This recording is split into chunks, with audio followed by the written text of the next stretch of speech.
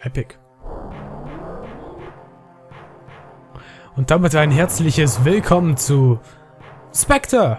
Ja, ja ihr kennt ja den, den, den neuen Film sicher. Äh, James Bond, Spectre. Und äh, ich dachte mir, ich spiele mal das Spiel zum Film. Und äh, dieses hat schon sehr schöne Grafik. Man sieht ja auch schon das Logo. Oh, Spectre, trademarked. So, Gut, dann lass uns das mal spielen. Das Ganze gibt es für den Super Nintendo. Ist ja hier äh, gerade erst rausgekommen, Next Gen und so. Ihr wisst Bescheid. 1994. So, wir sind auf Ebene 1 oder Level 1. Hier oben sehen wir schon unseren Score. Also, wow. Äh, ich muss sagen, ich habe keinen Plan von dem Spiel. Außer ähm, der Geschichte davon. Aber gespielt habe ich selbst noch nie. Ähm, ich weiß nur, dass es das allererste Pseudo-3D...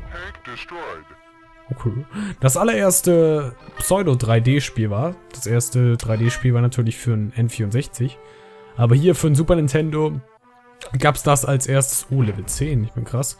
Äh, als erstes Pseudo-3D-Spiel, wo es einem nur so vorkommen sollte, als wäre es 3D. Und äh, wir spielen hier eine Art Panzer. Wir können auch springen. Ein bisschen komischer Panzer, aber hinterfragen wir das mal nicht. Wir können... Wow, wir springen ja hier, hier richtig... Aua. Ja, das, das ganze Spiel wurde damals von den Kritikern in den Himmel gehypt. Aber es hat halt keinen Inhalt, wie man sieht. Also... jedes, jedes scheiß Super Mario ist besser als dieses überkrasse 3D-Spiel. Aber es ist 3D!